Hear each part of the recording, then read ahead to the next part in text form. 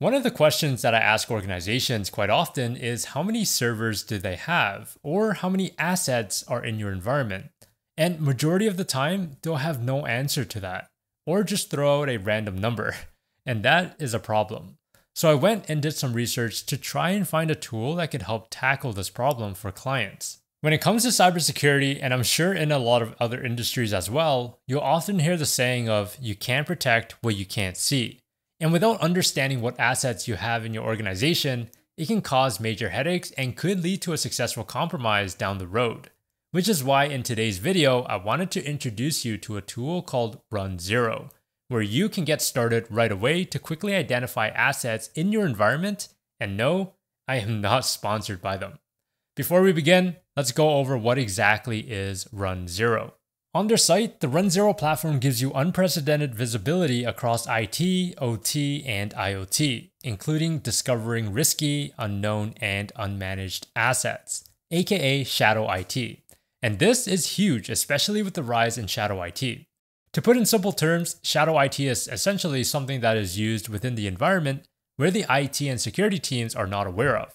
For example, if I were to bring my personal laptop and physically connected it into the company's network, my personal laptop would be considered shadow IT because it is not managed, nor would it be something the IT and security team is aware of.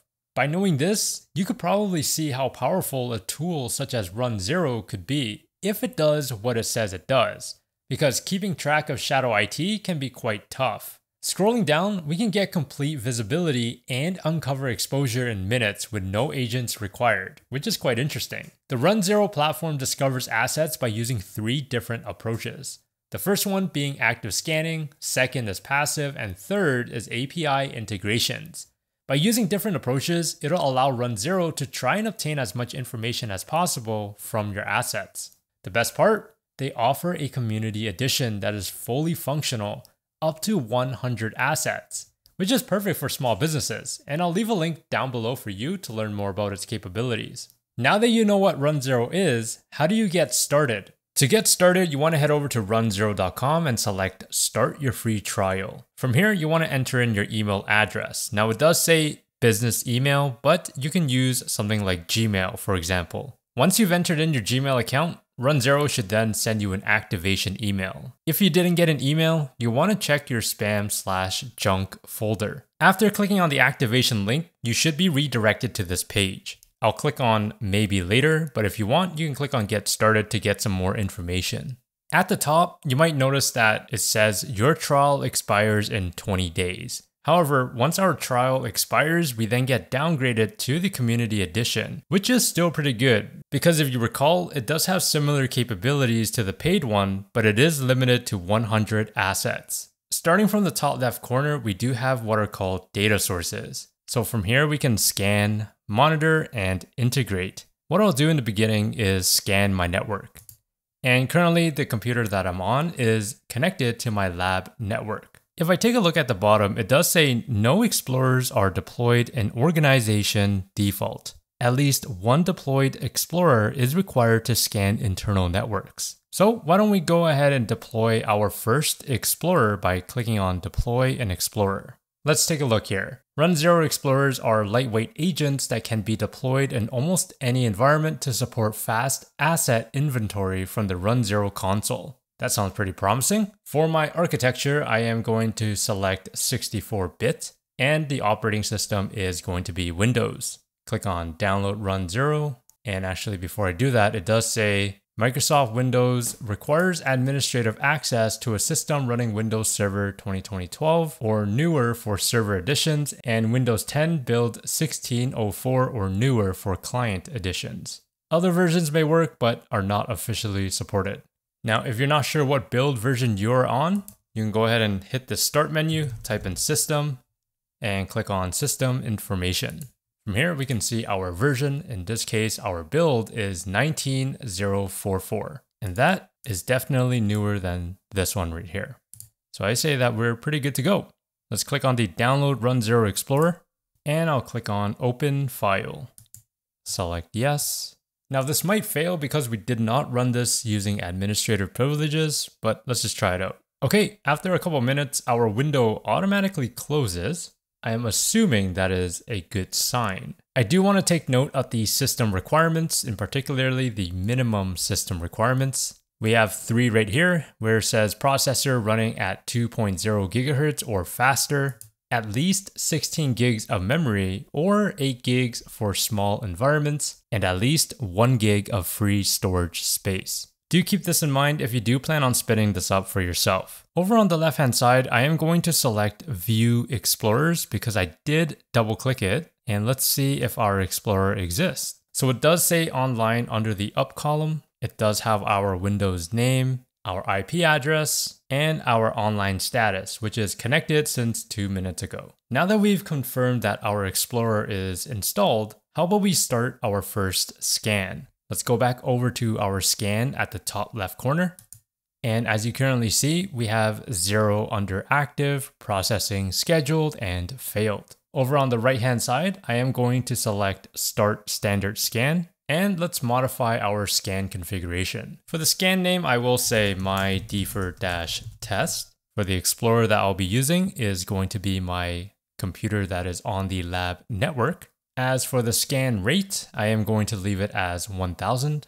So this specifies the overall maximum rate for the discovery process in packets per second. If you highlight over the question mark, it says 500 is conservative, 3000 works for most LANs, 10,000 or more may be helpful for large sites with fast connectivity. In our case, leaving it as 1000 should be sufficient. However, if you like, you can change it over to 3000 since it does say 3000 works for most LANs. Under the discovery scope, I am going to leave it as 192.168.100.0 slash 24 because this right here is my lab network range. And in your case, your IP range is likely going to be different than mine. So I would recommend that you input your IP range that you want discovered. For the scan description, again, I'll say my DFIR-test.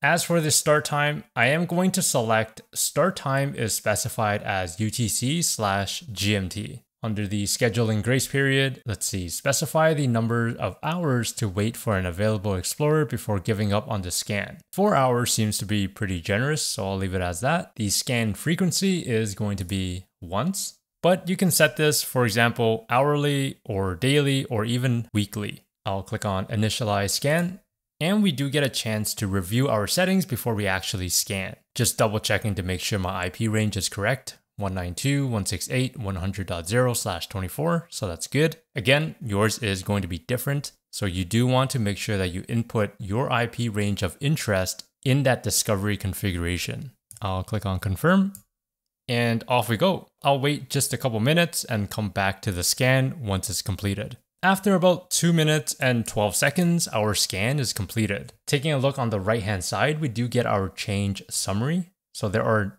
eight newly discovered assets. If you were to schedule this, for example, every week, hopefully you will discover shadow IT within your environment. Let's select view more details.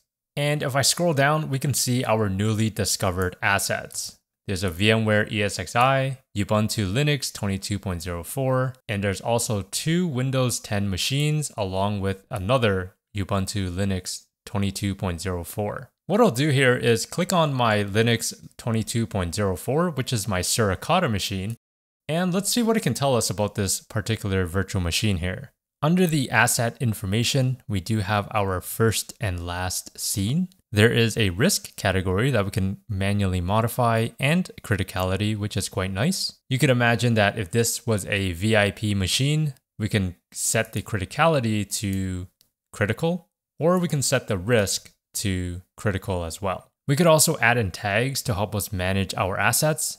For example, let's say that this asset is supposed to have SSH access. We could put in SSH-server or if this was a Windows machine and offers RDP, we can do RDP server as well. We do also have the option to include a comment, which could be pretty handy. On the right hand side, under run zero attributes, we can see the fingerprint results that run zero had retrieved. Scrolling down, we do have the addresses. There is also a host name. So if I select that, it does say Suricata. And it also has our MAC address. There is a section for vulnerabilities as well, which is quite nice. It says, no vulnerabilities have been identified. Scan your networks or enable an integration to populate this list. Well, we did scan our networks already, but we haven't enabled an integration. I'll come back to this afterwards to see what kind of options we can play around with. Continuing to scroll down, we do have a software category, which is again, really nice to have. Because not only are you building an asset list now, you're also including software as well. So if there was an outdated software or there was a vulnerability for a particular software package, you could quickly search in your environment, hey, do I have this vulnerable software? And then from there, you can see what kind of assets have that particular software. And finally, we have our service protocols. There is ARP, ICMP, and SSH. I am going to scroll back up under vulnerabilities and select enable an integration to see what we have. And let's take a look. We have AWS, Azure Active Directory. Hey, Censys is quite nice. Cisco, CrowdStrike, Google, Defender, and just a bunch of integrations here. You could also create your own custom integration if you want. And hey, look at that, Splunk and Tines. If I wanted to enrich my data, I could integrate something like Tenable, so that way when I scan my assets for vulnerabilities, any vulnerabilities that were identified can be found under my run zero. That way I can have everything in one single pane of glass.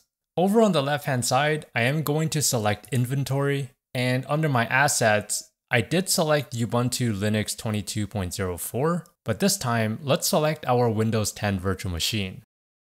I do want to see if Run Zero identified any other information that was different than the Ubuntu virtual machine. We do have our asset information and our fingerprint. Let's scroll down here and ooh, we do get one vulnerability that our Ubuntu server did not have. This one is policy SMB signing not required. What happens if we click on it? And nothing appears to happen. Okay, what about view more details on the right? Let's see here. Description identifies SMB services that do not require signing. No CVEs found for this vulnerability. And it doesn't really give us too much information. I mean, the solution is blank. This is where we can start, again, integrating other services such as Tenable to get additional information. Looking at our software, there is nothing here, but we do have a couple more service protocols we have ARP, EPM, ICMP, RDP, SMB2 and 3, and TLS. And then we get more detailed information at the bottom. But overall, this is pretty cool. Taking a look at our inventory on the left hand side, I am going to select vulnerabilities and right here is our vulnerability inventory. Again, if our scan was set to daily or weekly or monthly, after each successful scan, if run zero were to identify vulnerabilities, it would be put right here. And then we can see our asset count and we could drill in by clicking on the number. And we do see our Windows computer that has this vulnerability. The next option I want to check out are the queries. So I'll select queries on the left hand side and from here, we can begin querying our assets that meet a certain criteria. For example, let's imagine that we have Palo Alto networks in our environment. And if we highlight over this Palo Alto query, it says identify systems running Pan OS vulnerable to remote code execution. And if I were to click on that, it will show us exactly what this particular query does. We could select test query, and then it will update our query and run automatically we could see that it is looking for assets that are online and has an operating system of pan-os. Now, I could go ahead and modify this to say win, and we can see two assets that match our criteria. Now, this is a very high level overview of Run Zero, and I am very aware of that, but I would highly recommend that you try and play around with this because, again, it can be quite powerful in your environment, especially if you want to identify shadow IT and having the capability of answering the question how many assets do you have in your environment, or are we vulnerable to this particular vulnerability? And without understanding what assets you have, and this includes both your endpoints and software, protecting your organization can be quite difficult.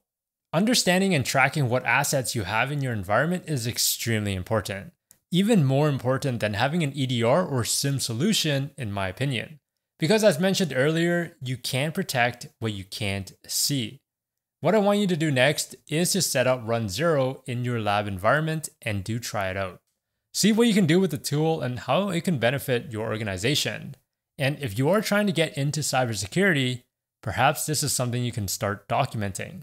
Talk about the importance of asset management and how you're able to use a tool to keep track of your assets. The more you know, the better you become. That is it for the video, and I hope you found that informative. If you did, let me know by hitting that like button and subscribe if you want to. Remember to stay curious and do things differently.